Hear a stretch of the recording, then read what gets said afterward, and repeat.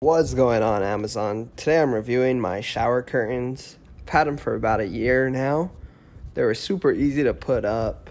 Uh, they don't get dirty very fast. The bottom sometimes gets a little guck on it that I have to clean, but it's just because they're white. But overall, they get the job done.